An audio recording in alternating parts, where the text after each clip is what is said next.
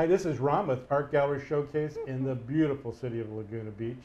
And we're here today with an amazing artist. When I say amazing, I'm not even exaggerating today. Lorraine Dawson is in our presence and a plein air painter like you can't believe. How you doing today? Good. Thank you for having me today. Oh, it's, trust me, I'm bowing down to your art today. I saw your art and I'm just infatuated with it. It's beautiful, trust Thank me. you. Thank So, talk to me about plein air.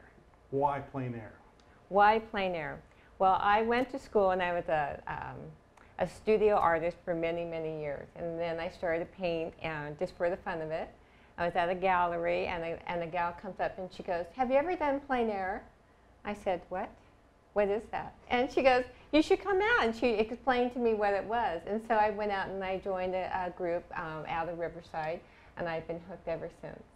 So that's maybe about 10 years ago. And I, I just love being, painting outside. Just seeing the colors, they talk about all the colors that you can see outside, and I really didn't know what they meant. But now I do, so I'm just hooked. It's like, it's just hard to go in the studio. In fact, I just came back from Mammoth, and we're painting outside, and it was just beautiful. The deer running by, you know, and the light shifting. So I just love being, painting outside. I I don't know who this lady was, but she was definitely smart. She knew the right person to bring into the group. Uh, I love your colors and your compositions, and especially your shadowing. Oh. And speaking of that, why don't we transition into the first piece?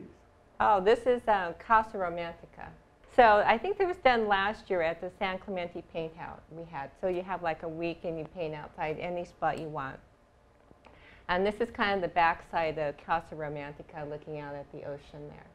So I think I went back like maybe two, two days, two or three days to catch that light at the same time to finish it up.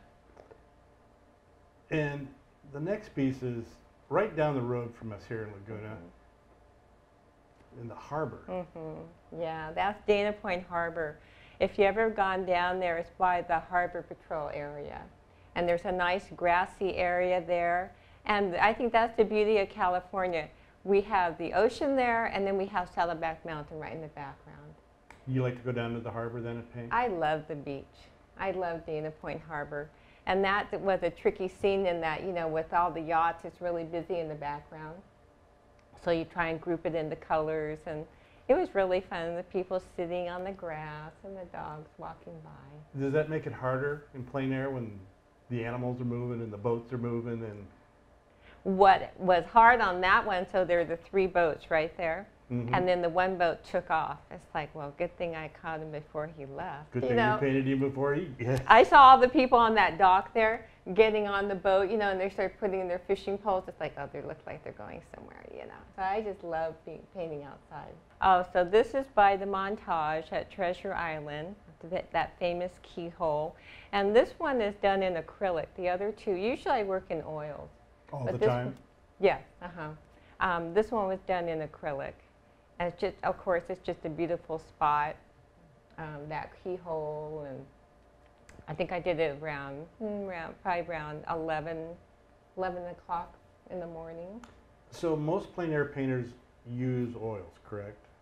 Not all. Some do um, watercolor. A lot do oils. Um, some do um, acrylic. Acrylic has its own little challenges, so the paint doesn't dry, but it's fun. I think e- each medium has its own advantage. You- Does the oil stay wet longer than the acrylics, or you think? Yes.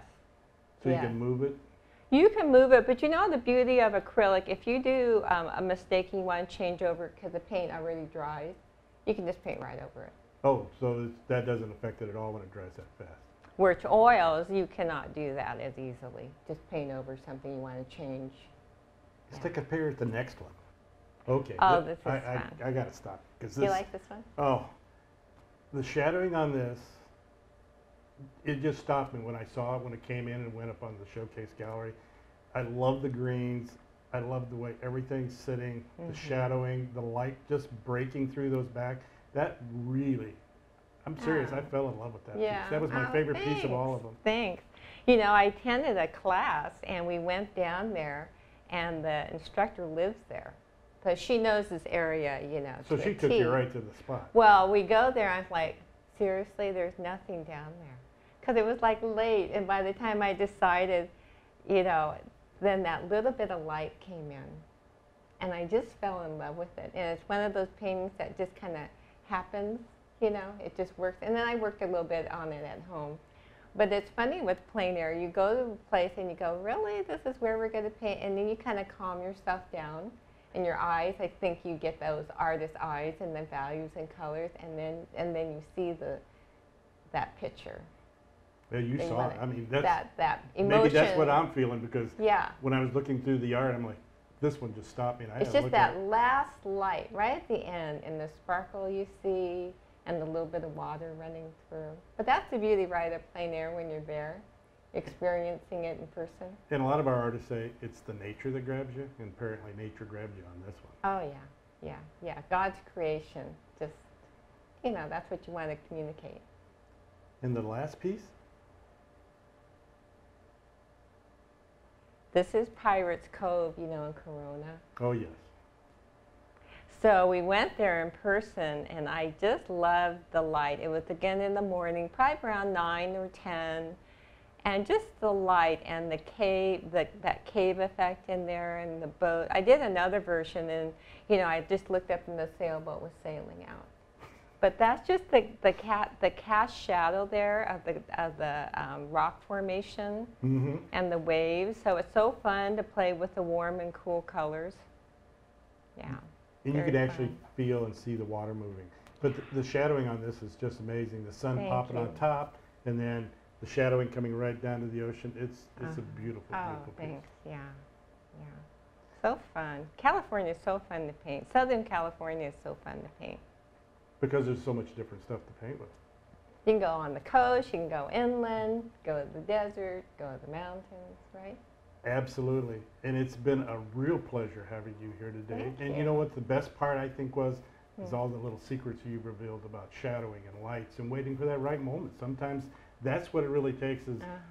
I, I think with all the artists I've ever interviewed, most of them it's that moment in time when they Mhm. see it uh-huh. and then they hook it and then they paint it and it's those, those are the dream pieces. Mm-hmm, mm-hmm, exactly. Yeah. Well, thank you very much You're for being welcome. here. Thank you. You're Thank wel- you very much.